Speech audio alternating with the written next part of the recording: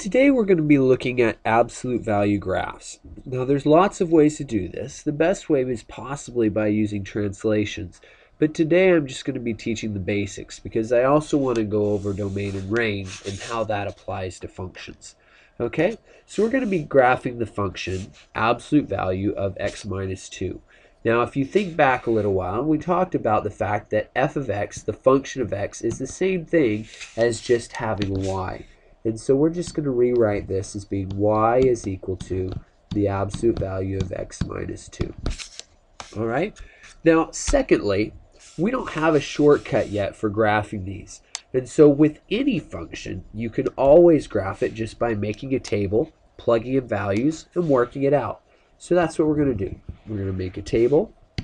We're going to put in some x values. We're going to put in some y values. Now we don't really know what this is going to look like yet. So let's just go ahead. We're going to put in a couple of values. We'll go negative 3, negative 2, negative 1, 0, 1, 2, and 3. Okay, and we'll plug these in and see what we get. So let's put negative 3 in. So y equals negative 3 minus 2. So negative 3 minus 2 is negative 5. The absolute value of negative 5 is 5. Do the same thing for each of these. Okay, so that will be negative 4. Absolute value is 4. Now don't get caught up into the fact that you think that there's a pattern because be very careful. Just watch. When I do negative 1 minus 2, I get negative 3, so that's 3. You say, well, Mr. Bauer, the pattern's still there.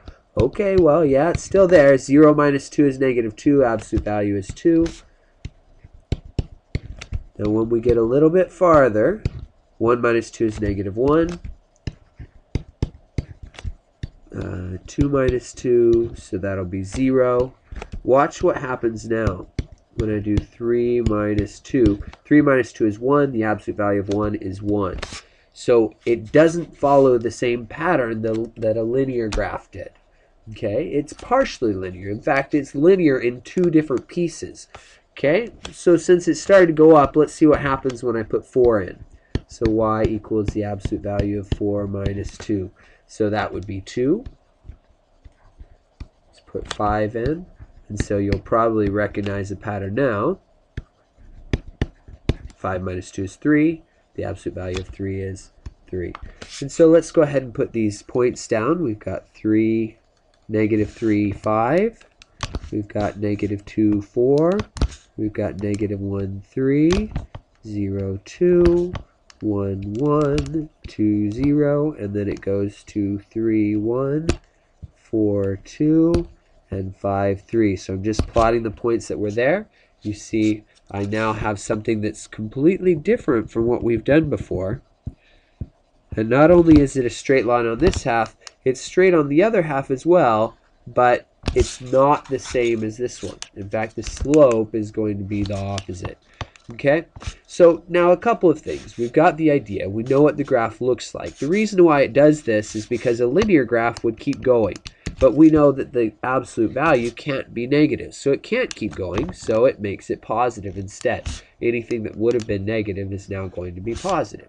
Okay, um, so what we'll do next is we'll look at the domain and the range.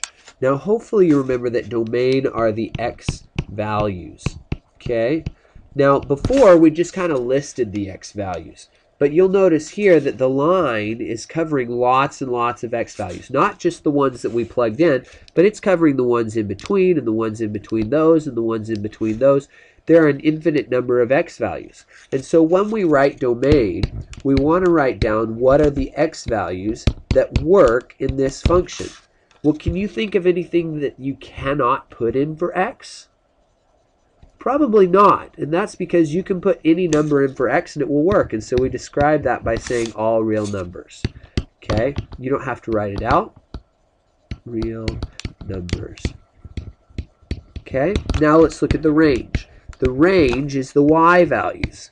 And you'll notice that the y values, there's positive y values up here, but then when I get to here, they don't go negative. And so that means that the y values can't be negative. And so therefore, the y values have to be greater than or equal to 0. Okay, you don't have any y values down here.